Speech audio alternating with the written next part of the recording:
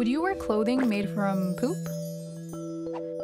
Dutch artist and inventor Jalila Essaidi is hoping you will.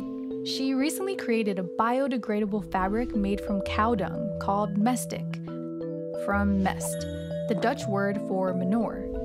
Her designs have already hit the runway in a haute couture fashion show. As Essaidi puts it, mestic shows that even this most disgusting matter is inherently beautiful. That's right, manure couture. Cow poop is more than just gross, it's also really bad for the environment.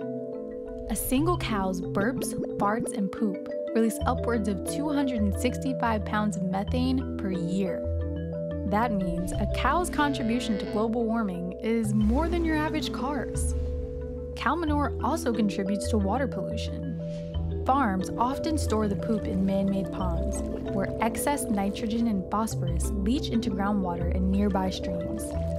Dung from 200 dairy cows produces as much nitrogen as the sewage from a town of up to 10,000 people. Essaidi is addressing this head on by turning manure into a valuable resource. To make the fabric, she and her team collect the poop and separate the wet from the dry, eventually creating a cardboard like material.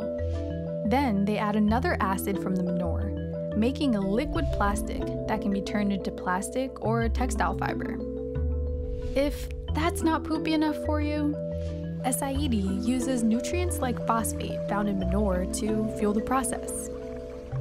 Mestic is still a prototype, but it could revolutionize fashion and encourage better environmental practices in the industry.